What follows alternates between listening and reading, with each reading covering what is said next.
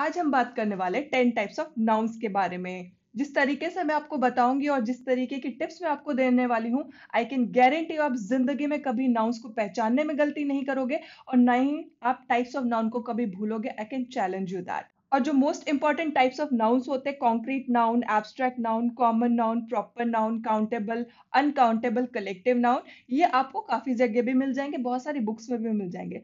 साथ ही साथ में बोनस आपको तीन और तरीके के नाउन्स के बारे में भी बताने वाली इस वीडियो में, जो कि compound noun material noun possessive noun ज़्यादातर आपको नहीं टीचर्स बताते होंगे, ना ही आपको बुक्स में मिलेंगे। So hi guys welcome back to the academy video पसंद है तो प्लीज़ लाइक कर दो अपने दोस्तों के साथ प्लीज़ शेयर कर दो चैनल को सब्सक्राइब करना बिल्कुल मत भूलना। जैसे कि पिछले वीडियो में पार्ट्स ऑफ़ स्पीच जिसमें मैंने आपको बताया था, उसको, उसमें मैंने आपको नाउन्स के बारे में डिटेल में विद एग्जांपल्स बताया था। तो स्टार्टिंग में हम एक ब्रीफ रिकैप ले लेते हैं कि नाउन एक्चुअली में होता क्या है। नाउन नाम दिया जाता है किसको?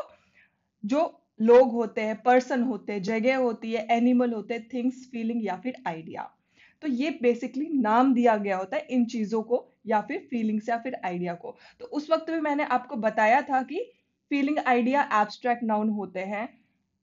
और आज हम बात करेंगे डिटेल में वन बाय वन करके सभी टेन टाइप ऑफ़ नाउन्स के बारे में। तो आइए बात करते हैं सबसे पहले टाइप ऑफ़ नाउन की, जो कि है कॉन्क्रीट नाउन सबसे पहले आप एग्ज़ाम्पल देखो कि जैसे टेबल हो गया एलिफेंट हो गया एक घर हो गया या फिर एक गर्ल हो गई। क्या आप इनको देख सकते हो? यस तो क्या आप इनको टच कर सकते हो? यस अगर मैं आपको बोलूँ कि there is a plate of pani puri ठीक है? तो उसकी जो खुशबू है क्या आप उसको सूंघ सकते हो? यस ठीक है? तो ऐसी जो चीज़ें होंगी जिसका एक फ़िज़िकल प्रेजेंस है ठीक है? फ़िज़िकल प्रेजेंस है और आपकी जो फाइव सेंसेस होती हैं आँख नाक कान मुँह जो टच uh, होती है फीलिंग ठीक है टच कर सकते हो, देख सकते हो स्मेल कर सकते हो फील कर सकते हो और टेस्ट कर सकते फील या फिर टेस्ट करना, ठीक है? तो अगर ये चीज़ें आप उन उन सब मटेरियल्स के साथ कर सकते हो तो वो सारी की सारी चीज़ें क्या होंगी? कॉन्क्रीट नाउन में काउंट होंगी। एक इंपॉर्टेंट पॉइंट मैं आपको पहले ही बता दूँ कि दस टाइप के जो नाउन है, आपको इंटरकनेक्टेड कहीं ना कहीं दिखाई देंगे।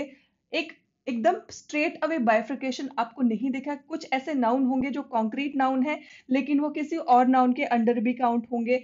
कुछ ऐसे नाउन जैसे एब्स्ट्रैक्ट नाउन है, वो भी दूसरे टाइप ऑफ़ नाउन के अंडर आ सकता है। तो जो ये टाइप ऑफ़ नाउन है, आपको मोटा मोटा आपको बाइफ्रिकेशन बताएँगे but it is not a एकदम हार्ड एंड फास्ट रूल नहीं है कि वो दूसरे टाइप ऑफ़ नाउन के अंडर में वो पर्टिकुलर मटेरियल नहीं आ सकता है।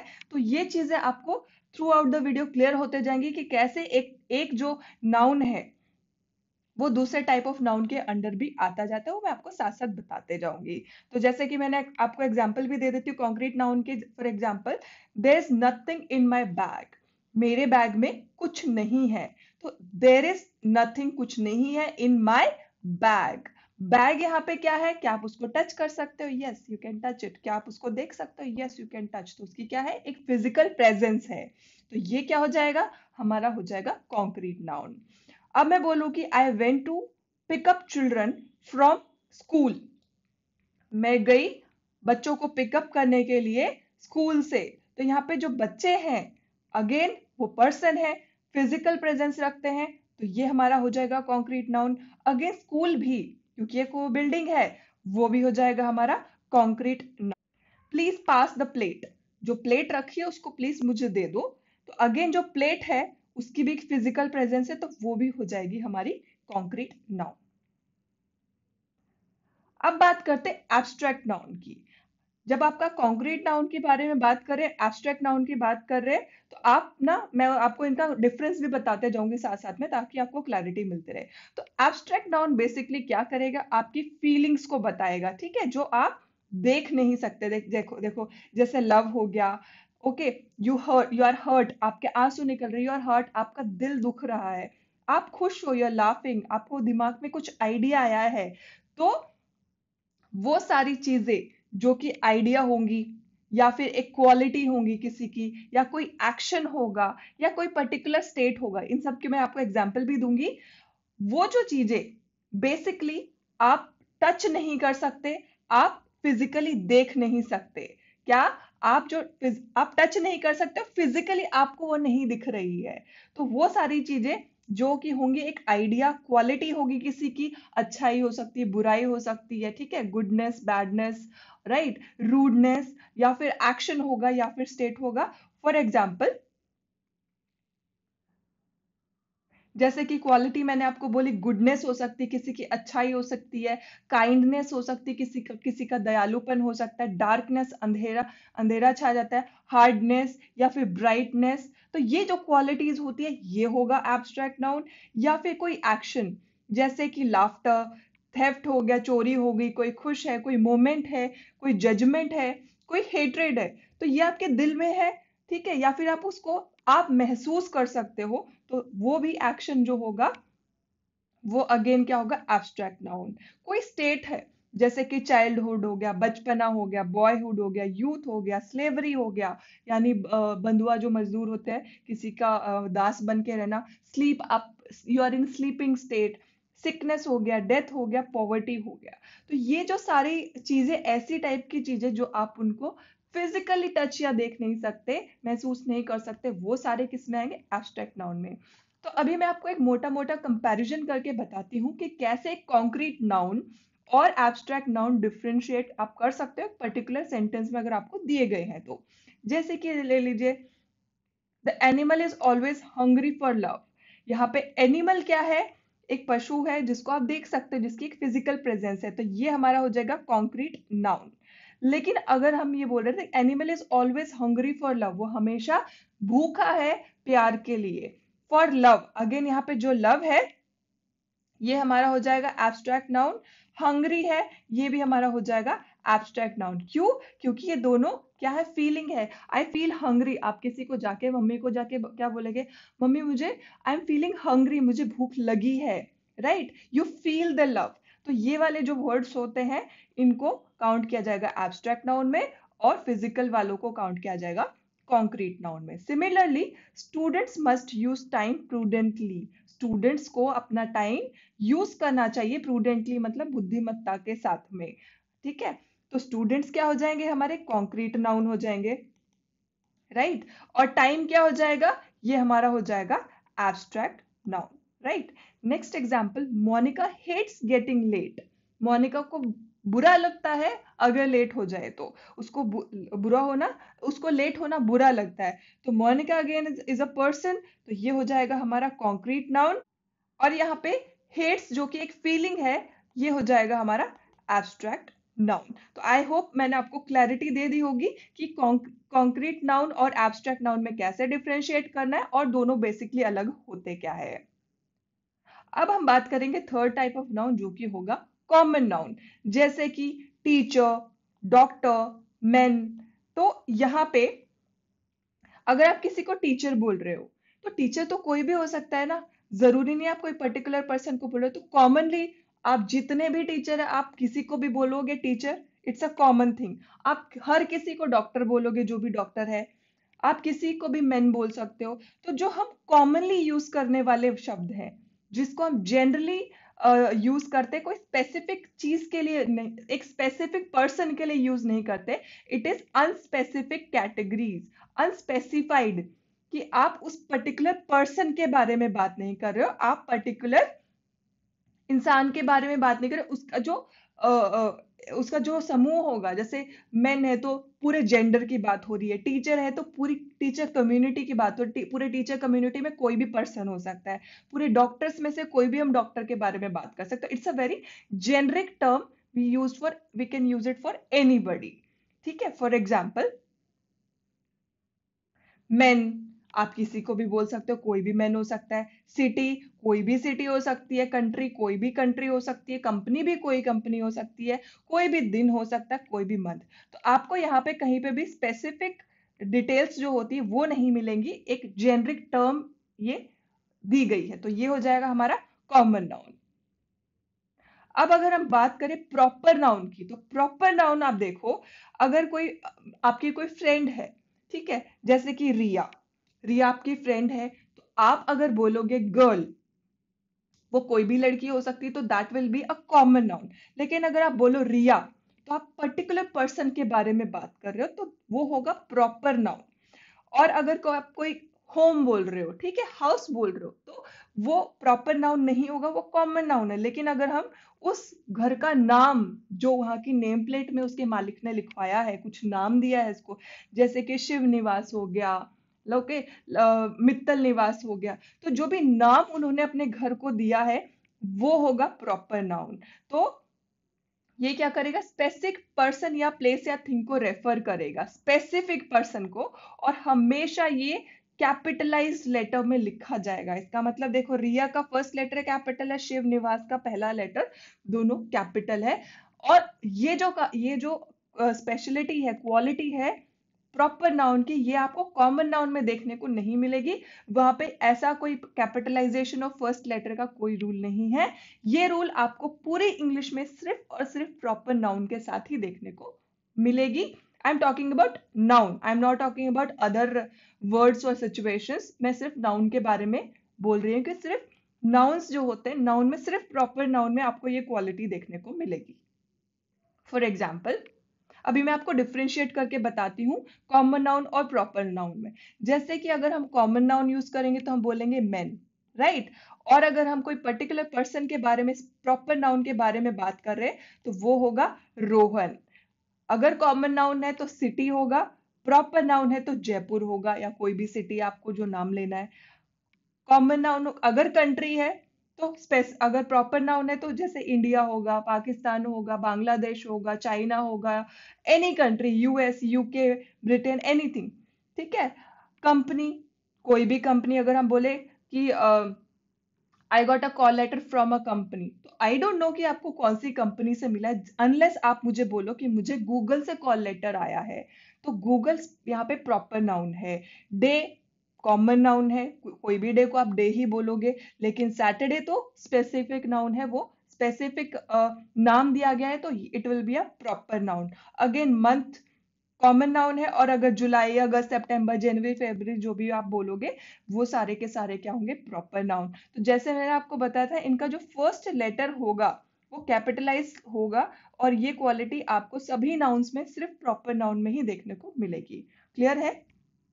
Now let us talk about countable noun simple rule है, अपनी उंगलियाँ देखो, अगर आप कुछ चीज़ें काउंट करना स्टार्ट कर सकते हो। मैं ये नहीं बोल रही हूँ, अगर मिलियंस है तो आपके सब जो फिंगर्स है उस पर काउंट हो जाएगा, लेकिन अगर मिलियंस भी है तो वो आपका जो वन है, वो आप स्टार्ट अपने फिंगर्स से कर सकते हो। तो ये आपको, जो मैं आपको तरीके बता रही हूँ, वो आप कभी नहीं भूलने वाले हो। I can guarantee you that simple है, अगर आपकी कोई भी चीज़ फिंगर्स पे काउंट की जा सकती स्टार्टिंग ऑफ़ दैट तो जैसे one two three four five तो वो क्या हो जाएँगे? काउंटेबल नाउन होंगे। उसकी क्वालिटीज क्या क्या होंगी? कि वो काउंटेबल है, उनको काउंट किया जा सकता है। दूसरी चीज़, देखो, अगर वो वन है तो वो क्या होगा? सिंगुलर होगा। लेकिन वन के बाद टू है थ्री है फोर है फाइव है इनफाइनाइट टाइम्स है तो वो प्लूरल भी तो होगा।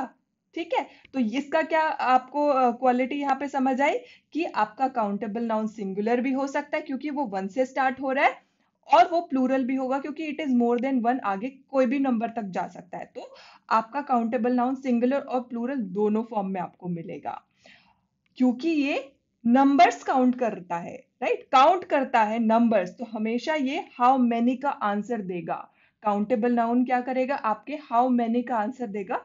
काउंटेबल नाउन जब आप आप जो सेंटेंसेस बनाओगे तो उसमें आप अ फ्यू का यूज़ कर सकते हो, क्योंकि आप काउंट कर सकते हो अ फ्यू कर सकते हो, या फिर मैनी कर सकते हो लॉट ऑफ़ कर सकते हो, या फिर सम तो इन डिटरमाइनर्स का यूज़ आप कर सकते हो फ्रेजेस या फिर डिटरमाइनर्स का यूज़ आप कर सकते हो in case of countable noun I hope I made the point clear for example a pen an apple या फिर फोर पेन्स या फिर देर आर फाइव बिल्डिंग्स यहाँ पे देखो, सब जगह काउंट करने वाली चीज़ें हैं। Right right? अगर मैं अ या फिर एन भी बोल रही हूँ तो वो भी क्या कर रहे हैं? वो हमारे सिंगुलर फॉर्म को रिप्रेजेंट कर रहा है। अ पेन एन एप्पल आप हमारे सिंगुलर फॉर्म को रिप्रेजेंट कर रहा है। Four pens there there there are five यहाँ पे देर आ रहेगा। There are five buildings I stay a few miles away तो अगेन ये जो वर्ड्स है ये क्या कर रहे हैं? अ फ्यू माइल्स अवे वो क्या डिनोट कर रहे हैं कि हमारा वो काउंटेबल नाउन है, ठीक है? There there are many exam there are many exams coming up बहुत सारे एग्ज़ाम्स आ रहे हैं. Lot of times she is late वो काफ़ी बार लेट होती है. तो ये सारे जो नाउन है काउंटेबल नाउन है. क्लियर है? राइट एग्ज़ाम्स हो गया टाइम्स हो गया. और उसके साथ में हम कुछ वर्ड्स को ऐड कर सकते हैं जो कि बताएँगे कि these word these are countable noun in this particular sentence तो अ फ्यू मॉडिफाई कर रहा है, उसको डिटरमाइन कर रहा है कि माइल्स यहाँ पे काउंटेबल है। मैनी क्या कर रहा है एग्ज़ाम्स को क्वालिफाई कर रहा है। और लॉट ऑफ़ टाइम्स क्या कर रहा है क्वालिफाई कर रहा है। तो I hope I made the point clear कोई भी क्वेरी है तो आप कमेंट सेक्शन में लिख देना। अब हम बात करेंगे अनकाउंटेबल नाउन की। जो काउंटेबल था, अगर हम उसको फिंगर्स पे गिन सकते हैं तो अनकाउंटेबल नाउन को हम एक तराजू में तोल के पता कर सकते हैं। क्लियर है? अगर हम फिंगर्स पे काउंट करना शुरू कर सकते हैं तो काउंटेबल है। अगर तराजू में तोल सकते हैं तो वो अनकाउंटेबल है। बहुत सिंपल है, कभी नहीं भूलने वाले आप इस चीज़ को। ठीक है? जैसे कि मैंने आपको ऑलरेडी बता दिया नॉन काउंटेबल है। और अगर आपको मैं बोलूँ, कोई आपको ये पूछे कि सॉल्ट जो है, उसके तो दाने होते हैं छोटे छोटे क्रिस्टल्स होते हैं शुगर जो होती है, उसके क्रिस्टल्स होते हैं तो बताओ वो नॉन काउंटेबल है कि नॉन काउंटेबल तो बच्चे, वो बहुत छोटे छोटे क्रिस्टल्स है you can't sit and count them तो हम उनको अनकाउंटेबल नाउन में जो सॉल्ट होगा या फिर शुगर होगा, इस टाइप के जो चीज़ें होंगी, उनको भी हम हम अनकाउंटेबल नाउन में ही सेग्रीगेट करते हैं। ये चीज़ आप ध्यान में रखना राइट right? दूसरी चीज़ मास नाउन्स जो होंगे के हो गया लीटर हो गया, ठीक है? तो जो भी हम तोल सकते हैं, जो भी हम तोल सकते हैं, तराजू में वेइंग मशीन पे जो हम तोल सकते हैं, वो सारे के सारे नाउन्स क्या होंगे? अनकाउंटेबल होंगे। तो यहाँ पे क्या हाउ मच क्योंकि यहाँ क्वांटिटी जो है, वो किसमें? वेट में आएगी राइट वेइंग मशीन पे बताएगी, आपको मेजर करना तो हाउ मच कितना? हाउ मच का आंसर देगा। और जो एब्स्ट्रैक्ट नाउन्स होते हैं, ज़्यादातर वो अनकाउंटेबल नाउन्स होते हैं, क्योंकि एब्स्ट्रैक्ट नाउन आपने अभी देखा ना, वो क्या करते हैं, आपको फीलिंग्स बताते हैं आइडियाज़ बताते हैं राइट तो वो जो सारी चीज़ें होती है, वो अनकाउंटेबल नाउन में काउंट होंगी, क्योंकि you can not count them और जैसे मैंने आपको स्टार्टिंग में बताया था कि जो भी नाउन की कैटेगरीज है, वो ओवरलैप हो जाएँगी कहीं ना कहीं।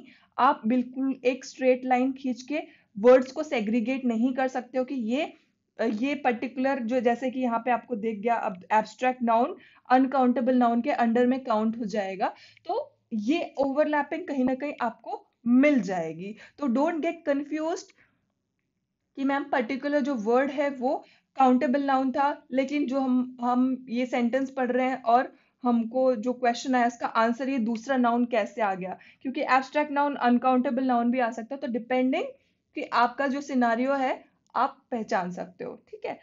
दूसरा क्या है? अ लिटिल आप जब इसके सेंटेंसेस बनाओगे तो अ लिटिल जहाँ पे आपको दिखता है राइट? जब आपको अ लिटिल दिखता है मतलब ये अनकाउंटेबल नाउन है मच दिखेगा, क्योंकि हाउ मच जो है, जहाँ पे मच दिखेगा अ लॉट ऑफ़ और सम ऐसी चीज़ें हैं जो दोनों जगह पे आप यूज़ कर सकते हो बिकॉज़ सम और अ लॉट ऑफ़ क्या है?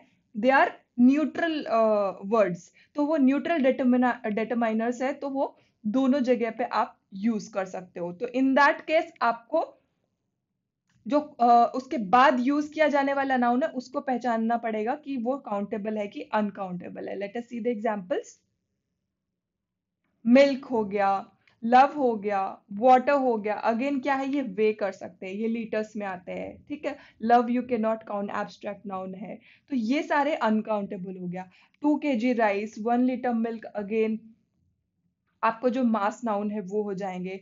There there are two two cup of cup there are again यहाँ पे there are two cups of coffee cups of coffee there are two cups of coffee तो again यहाँ पे two cups है, लेकिन coffee जो है ना कॉफ़ी क्या है, यहाँ पे अनकाउंटेबल नाउन है। तो मैंने आपको बताया ना, अगर आप कभी कंफ्यूज हो जाते हो कि जो डिटरमाइनर्स हैं, वो आपको कंफ्यूज कर देते हैं तो आप जो हमारा नाउन है, उस पर थोड़ा सा अच्छे से ध्यान देना कि क्या कॉफ़ी को आप काउंट कर सकते हो? नहीं। क्या आप शुगर को काउंट कर सकते हो? नहीं। क्या फियर को काउंट कर सकते हो? नहीं।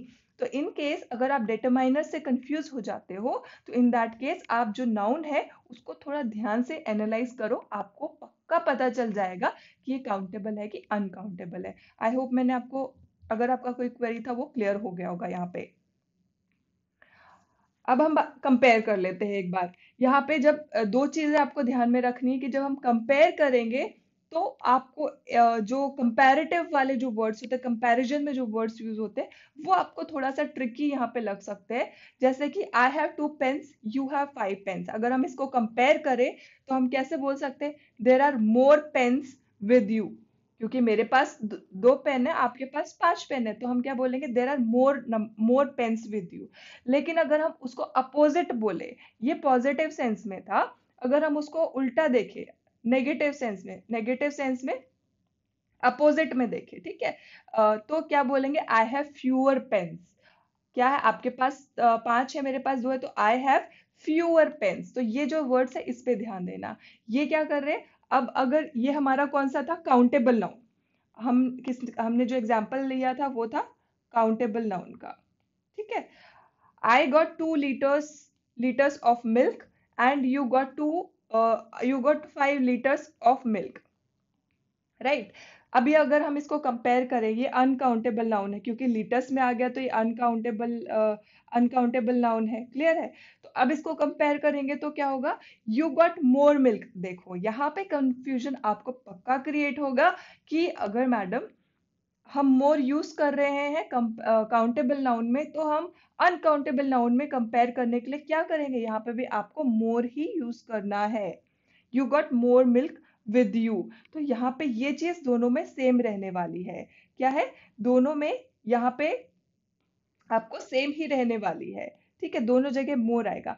यहाँ पे डिफरेंस कहाँ पे आएगा? डिफरेंस आएगा जब आप नेगेटिव सेंस में अपोजिट साइड में उसको कंपेयर करो। तो अगर यहाँ पे बोलेंगे आई गॉट लेसर हम यहाँ पे फ्यूअर नहीं बोलेंगे।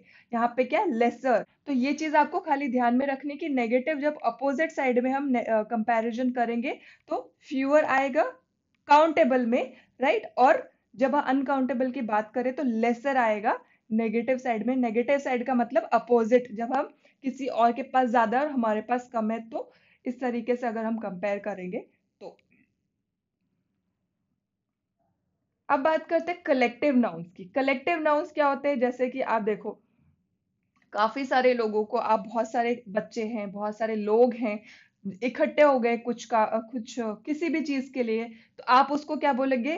फॉर एग्ज़ाम्पल जब पॉलिटिशियंस आते हैं भाषण देने के लिए, कोई चुनाव रैली के लिए तो वो क्या बोलते हैं? क्राउड को बुला लो। या फिर उनको देखने के लिए क्राउड आ गया। वो क्या करते हैं? एक बहुत सारे लोगों की जो भीड़ है, उसको क्या बोलते हैं? क्राउड बोलते हैं। सिमिलरली बहुत सारे अगर एलिफेंट्स हैं तो उनको क्या बोलेंगे? हर्ड ऑफ़ एलिफेंट मतलब एलिफेंट के जो झुंड है, उसको क्या बोलेंगे? हर्ड। तो जो कलेक्टिव नाउन्स होते हैं, वो क्या करते हैं? रेफर करते हैं ग्रुप को, कोई भी पर्टिकुलर ग्रुप को, और वो ग्रुप लोगों का हो सकता है एनिमल्स का हो सकता है, या फिर थिंग्स का भी हो सकता है। तो ये कलेक्टिव सब लोगों को एनिमल को, या फिर थिंग्स को मिला के उस ग्रुप को एक नाम दिया जाता है, एक सिंगल नाम। ठीक है? तो उसको क्या बोलेंगे? कलेक्टिव नाउन फॉर एग्ज़ाम्पल जैसे कि हम ग्रुप ऑफ़ सोल्जर्स को क्या बोलते हैं? आर्मी बोलते हैं। ग्रुप ऑफ़ कीज को क्या बोलेंगे? बंच ऑफ़ कीज बोलेंगे ठीक है? ग्रुप ऑफ़ शूज़ को क्या बोलेंगे? पेयर ऑफ़ शूज़ बोलेंगे। ग्रुप ऑफ़ प्लेयर्स को क्या बोलेंगे? टीम बोलेंगे। तो जब हम ग्रुप्स ऑफ़ पर्टिकुलर नाउन को अगर हम आ, आ, लेते हैं तो कलेक्टिवली हम उसको एक नाम दे सकते हैं जैसे कि आर्मी हो गया बंच हो गया गुच्छा जिसको बोलते हैं पैर हो गया या फिर टीम हो गया तो ऐसे बहुत सारे कलेक्टिव नाउन्स होते हैं तो आपको बहुत इंटरेस्टिंग लगेगा, आप गूगल से लिस्ट निकाल के भी आप एक बार देख सकते हैं, और आपको कोई क्वेरी आता है तो। अब हम बात करते हैं कंपाउंड नाउन के। अभी हमने जो, अभी तक के जो नाउन्स को हमने पढ़ा है they are very commonly use आपको काफ़ी जगह मिल जाएँगे बुक्स में भी मिल जाएँगे टीचर्स टीचर्स भी आपको बताते हैं। अब अब से हम जो नेक्स्ट नाउन्स जो पढ़ने वाले they are not very commonly commonly taught लेकिन कॉमनली यूज़ है। ध्यान रखना, ये काफ़ी कॉमन है यूसेज में, लेकिन ज़्यादातर टीचर्स या बुक्स आपको वीडियोस में भी ज़्यादातर नहीं मिलते हैं। तो अब हम बात करेंगे कंपाउंड नाउन की। कंपाउंड नाउन क्या करता है? ज्वाइन करता है, दो या दो से ज़्यादा शब्दों को ज्वाइन कर देता है। जैसे दो नाउन को ज्वाइन कर देगा दो एडजेक्ट एक नाउन क्योंकि नाउन है तो एक वर्ड उन दोनों वर्ड में से एक जो वर्ड है वो नाउन होना चाहिए। तो ये एडजेक्टिव के साथ कंबाइन हो सकता है, ये प्रेपोजिशन के साथ कंबाइन हो सकता है, ये दूसरे नाउन के साथ कंबाइन हो सकता है, या फिर एक ये वर्ब के साथ कंबाइन हो सकता है तो दो वर्ड्स को जब हम मिला के एक सिंगल नाउन बनाते हैं तो उसको हम कंपाउंड नाउन बोलते हैं।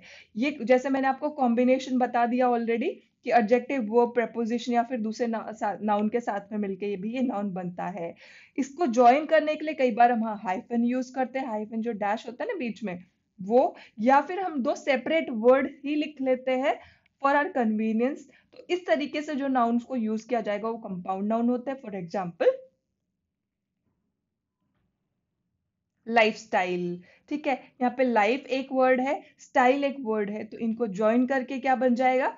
लाइफस्टाइल मून लाइट दो वर्ड्स है लाइफ स्टाइल को ज्वाइन किया मून लाइट को ज्वाइन किया चेक इन मैंने बोला था आपको हाइफन के साथ आप कर सकते हैं प्रपोजिशन के साथ ड्राई क्लीन हो गया हाइफन के साथ टू वर्ड्स जैसे फुल मून हाई स्कूल तो इस तरीके के जो आप जो वर्ड्स देखते हैं, उनको क्या बोला जाता है? कंपाउंड नाउन और कंपाउंड नाउन क्यों बोला जाता है?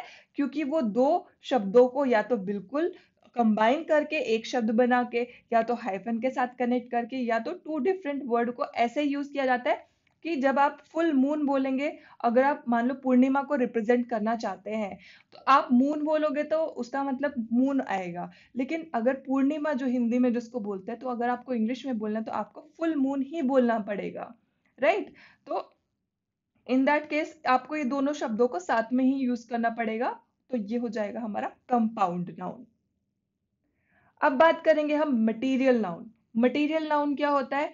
कि जो चीज़ें बनती हैं जैसे आटे से रोटी बनती है लोहे से डिफरेंट डिफरेंट जो भी पार्ट्स ऑफ़ किसी गाड़ी के पार्ट्स बनते हैं ट्रेन के एयरक्राफ्ट के बनते हैं ठीक है? या फिर गोल्ड से ऑर्नामेंट्स बनते हैं जो, जो भी हमारी ज्वेलरी बनती है तो जो बेसिक मटेरियल होता है ना मटेरियल जिससे कोई भी चीज़ बनती है उसको बोला जाता है मटेरियल नाउन बहुत आसान है, आप कभी नहीं भूल सकते हो। जो मटेरियल से कोई चीज़ बन जाती है तो उसको मटेरियल नाउन बोलते हैं। जैसे कि फ्लावर हो गया आयरन हो गया कॉटन हो गया गोल्ड हो गया।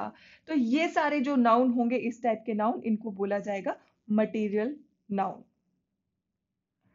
last possessive noun possessive noun में आप काफ़ी लोग ये सोचोगे कि मैम ये पोजेसिव नाउन जो है ये नाउन कैसे हो गया? पोजेशन ये बता रहा है तो मैं आपको बताऊँगी कैसे हो गया। ये सबसे पहले आप देखो ये ओनरशिप बताता है किसी आ, किसी चीज़ की ओनरशिप बताता है राइट तो यहाँ पे क्यों ये पोजेसिव नाउन है? मेन इंपॉर्टेंट है ये नाउन क्यों है? कि भले ही ये डिमॉन्स्ट्रेट कर रहा है ओनरशिप पोजेशन डिक्लेयर कर रहा है लेकिन उसके बावजूद वो पर्सन ही रहेगा। मतलब अगर फॉर एग्ज़ाम्पल मैं किस मेरे पास uh, कोई पोजेशन है मेरे पास uh, कोई पेन है तो वो मेरा ही तो मैं जो हूँ वो पर्सन ही रहूँगी। किसी प्लेस के बारे में हम बात कर रहे हैं तो वो प्लेस तो प्लेस ही रहेगा एनिमल तो एनिमल ही रहेगा थिंग थिंग ही रहेगा। तो इसीलिए पोजेशन होने के बावजूद भी जो हमारे पर्सन प्लेसेस थिंग है वो वही नाउन ही रहते हैं। इसलिए इसको एक स्पेशल कैटेगरी में बांटा गया है जो कि पोजेसिव नाउन हम बोलेंगे, जैसे कि Monica's Monica's car Monica's bag ठीक है? जयपुर जयपुर हम बोलते कि वहाँ की ये जो चंदेरी है, वहाँ से आई है। जयपुर जयपुरी प्रिंट जिसको बोलते हैं ना तो जयपुर स्पेशलिटी है जयपुर स्पेशल फ़ूड तो हम उसका पोजेशन बताते हैं कि वहाँ से, वहाँ को बिलोंग करती है। यहाँ पे पेन हो गया। तो pen's ink where is my pen's ink where is my pen's cap तो पेन का जो कैप है पेन की जो इंक है, अगर वो पूछ रहे तो ऐसे हम इनको यूज़ कर सकते हैं। That's it guys thank you so much for watching video पसंद आए तो लाइक कर दो। और ऐसे वीडियोस चाहिए तो सब्सक्राइब करके प्रेस द बेल आइकन और शेयर कर दो अपने दोस्तों के साथ। I see you very soon with another video till then take care for self and bye bye